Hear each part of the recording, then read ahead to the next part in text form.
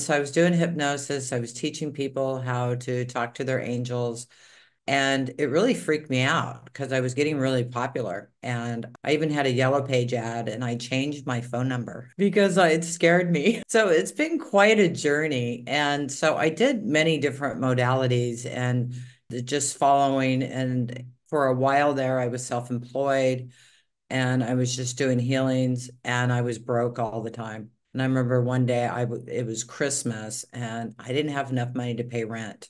And I didn't have money for my kids' Christmas. I had two young sons. And I walked on the beach and I said, God, if you want me to be a healer, then you pay my rent and you pay it now. And within an hour, one of my clients knocked on the door and gave me a check for $1,500. It paid my rent and it bought my boys Christmas. And I was blown away. I still couldn't maintain it. I ended up going back into the workforce and then still doing some trainings. And I remember doing these different trainings and just being frustrated because nothing was fast enough. And I remember telling a friend of mine, or she reminded me about this a couple weeks ago. She says, Don't you remember, Tamra? You'd say, I want to do it like this, like this, like this. It's not fast enough. She goes, Now you're doing that. It's like, God, I do remember that. So, because I'd get some results, but not, you know, as, as many as I wanted. And then in 2012, I ended up over in England and this is just a crazy story I could talk about for an hour how I ended up getting there, but I'm not going to. But I remember in one morning going for a walk and I'm like, what am I doing here? I mean, I only had $200 in my account. I did not have a credit card. So one morning I went for a walk and I went through this. I love the old graveyards in England. They're just beautiful. So I was walking through this graveyard and I'm yelling at God, what the hell am I doing here?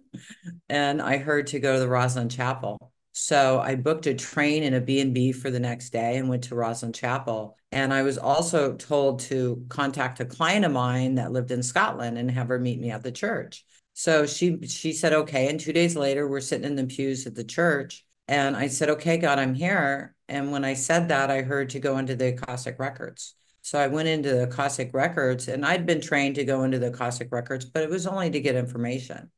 And when I went into the Akashic Records that day, I saw Bean standing there and I'd never seen anybody in the Akashic Records. And I asked him, Who are you and what do you want? And he said, I am Lord Metatron and I'm here to assist you. So I said, Okay. And then this energy started flowing in to the top of our heads and it was like spiraling in like a tornado coming in. And then it was followed up by these golden, like coins, these golden seals and they were stacked up on top of each other. And it, when we were done, our heads hurt, we were dizzy. And so we went and had lunch afterwards. And then she was kind of a little freaked out about what had happened. Me too. you know, it's like, wow, that was crazy. I never had an experience like that in my life. And she was driving me back to my bus stop to go back to my B&B. And when we were doing that, I heard, you're now crystalline to give these to others.